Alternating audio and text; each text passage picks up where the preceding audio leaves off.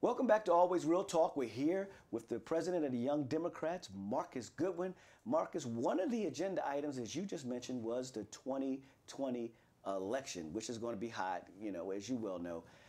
You watched the debate last night. I watched the debate last night. I kind of nodded off while I was watching the debate last night, but it used to be 7,000 Democrats running for president of the United States. Now it's, uh, you know, 1,000 Democrats running for the president of the United States. Young Democrats, Yeah.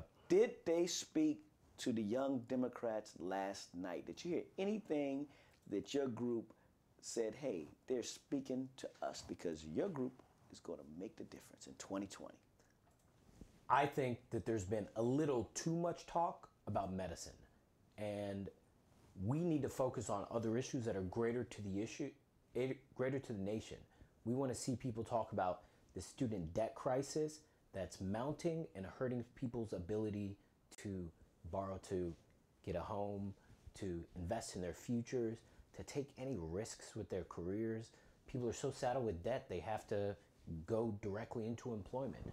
I think it's also important for us to get them focused on, for people across the country, what I call guns and butter. That's safety and the economy. Guns and butter. A Democratic Party and the people, 12 candidates who were on stage. We had a party at Hook Hall on Georgia Avenue, which was a great event, uh, attended by a large group of young professionals in the city. They didn't focus enough on what are we doing for guns in our nation. We're expecting Beto O'Rourke to talk about El Paso and the tragedy that occurred there and how we're keeping our communities safe, but also internationally, how we're treating leaders of other nations and ensuring that we're keeping great foreign relations. Um, when it comes to the economy, we need to focus on ensuring that companies are operating responsibly but have the opportunity to thrive. I think the talk about taxes for corporations and wealthy individuals is important, but we also need to balance that with not scaring away middle of the road voters that fear that government is getting too big. Because the only thing, in my opinion, that matters in 2020 is not the coast. It's Ohio. It's Indiana. Absolutely. It's Pennsylvania. Illinois. It's Pennsylvania. It's Wisconsin. It's Florida. These are the places that are going to decide our election. Did- no, because so- but- unfortunately, we're living in an electoral college system, and people in the middle of the country, they don't understand what's going on with our relations with Syria and Afghanistan and Turkey and the Kurds. They want to know, am I safe? And generally, we've been safe since the unfortunate Republican has been in office since 2016. We need to feel that the person that we're going to deliver from the Democratic side is going to do something revolutionary to get rid of these foreign wars, but also keep us safe at the same time. So what do you, so what do you think? You go back to the guns conversation. And Pete, you, you saw that go through, Yep. right? And um, he kind of cut that conversation short. Right.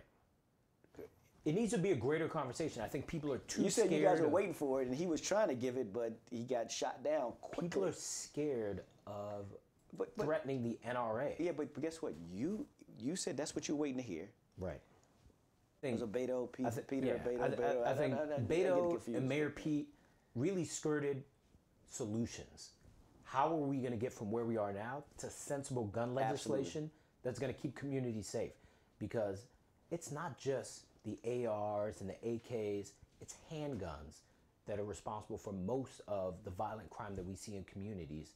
So But they're but they're illegal handguns. these are illegal I mean. I mean, most of them are illegal, right? I mean, you know, we, no one's So talking about how we're going to get the universal illegal. background checks for people purchasing. Support it. We- look, look, and ensuring that people with mental that. illness don't get their hands on these weapons. That needs to be brought to the forefront and not just skirting around the issue because they're passing on blame and scared of shaking up the NRA.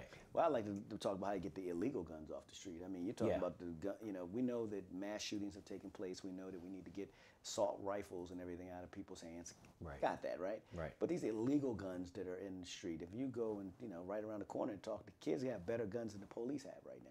How do they get these guns? All these illegal guns that are out here. It's a I tough mean- problem, I mean, you know. no one's addressing the illegal gun system that we have in this country, but more importantly, in the urban areas that's really causing a lot of violence. Now, gun buybacks have that. generally been ineffective. One, because there are so many guns, and two, because people will bring broken guns and turn those in. Uh, something that's been a little more effective is them raising the price for guns that have potentially been used in the commission of a crime. And when guns get turned in for those buybacks and turn ins, then we get a higher rate of Yeah, I mean- uh, dangerous weapons off the street. Yeah, people are breaking in these houses these days. I got my wife and my kids. You coming in with your illegal gun, but people are telling me I can't have a gun in my house. What's And the you- sense in that? What's the sense in that? And I think that that's the sentiment when I talk to folks on the street who are for tough gun laws, but at the same time they don't want you to take their gun to protect their family in their house. So that's that's one of the things. What did you hear that you liked from any of the candidates last night? I still think they're just you know Yeah. too, no one's telling me how they're going to pay for any of this stuff. You know, everyone's saying how we all need to get along. I mean, I didn't hear you know. We, we all know, and people are, uh, said it a thousand times, their feelings towards the, the current president, right?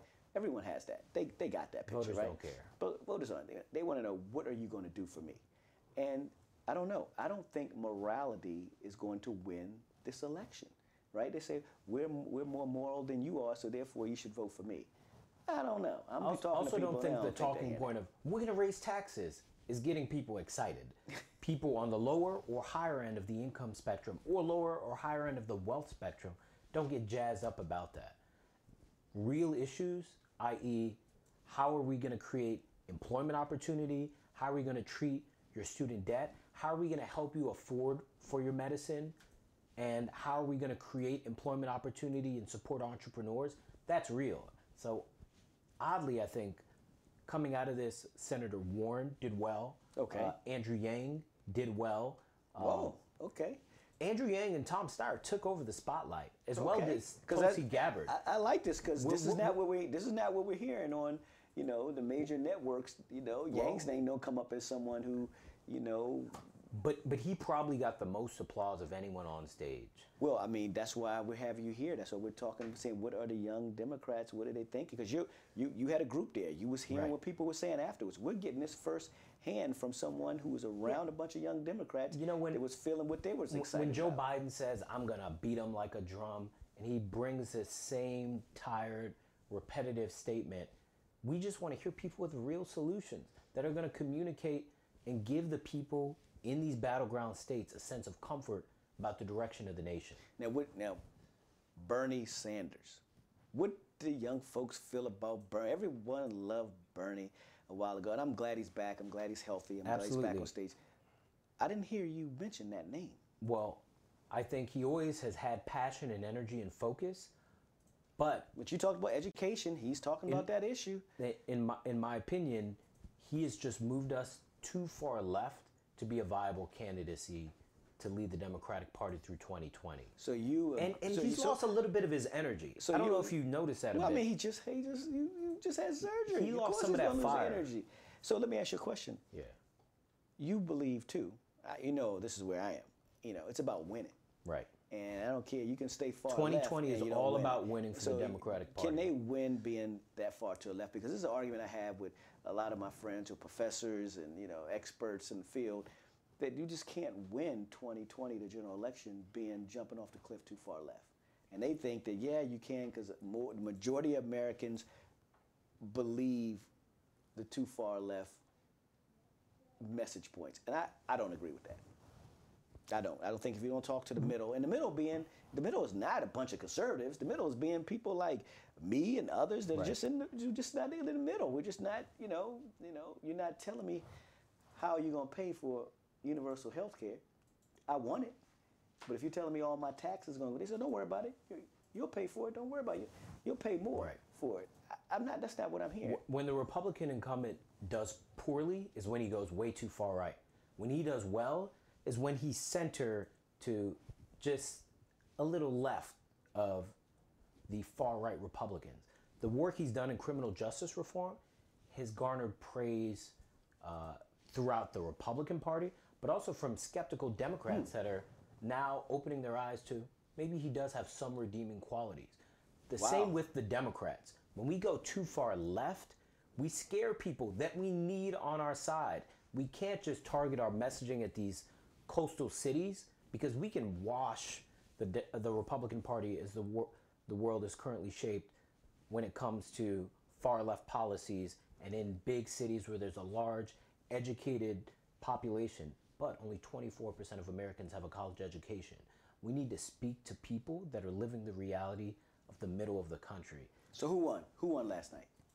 I would Give me the top two. Top two. Elizabeth Warren came in the big dog. She walks out the big dog. She walks in the big dog. And who, who is right behind the big dog? It, the one person who made up the most ground, I, I wouldn't say she was necessarily in second place, Tulsi Gabbard. Yeah, you know what? I actually thought so too. Look at the polling. I sat there and look at the polling. and I looked People at it, People really saw that and I thought she she, got a lot of speaking time. She was articulate. She was poised, and, And she her was being stern. a war veteran, and she was stern. you, you get the sense that I mean, tough. she had a backbone. She was tough. Yeah. She wasn't scared. Yep. I looked at her a lot differently last night. I said, "Whoa."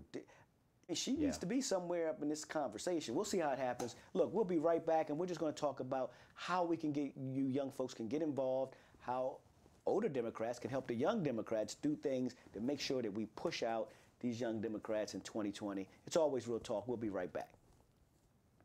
All right, we're back in the studio with Marcus Goodwin, the president of the Young Democrats, but more importantly, a wonderful good friend of mine, native Washingtonian. God is doing some phenomenal things. Uh, a real estate genius that actually has a heart and passion Thank you. for affordable housing, which is rare. It's really rare these days.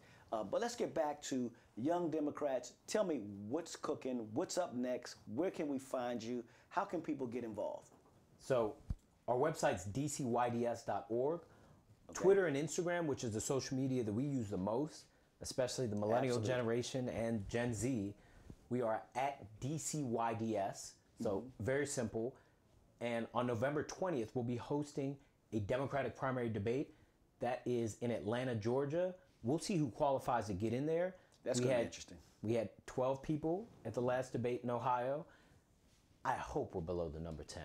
There's some folks that just don't need to be on the stage, but that's another issue for another That's segment. hey, I've been saying that since the beginning. But I tell you what, you're going to have the young Democrats going to have their debate party, Yes, right? sir. And we're going to be out there, always real talk. We're going to come out to the debate party. We're Thank going to you. film live from the debate party with the young Democrats. Thank you. We're going to hear exactly. We'll have a panel of people after it's over talking about what they thought. Great. We'll get some real live updates, and that's the things that you're bringing to the table as president of Young Democrats. They, you know, appreciate you inviting us out. Yes, we'll be there.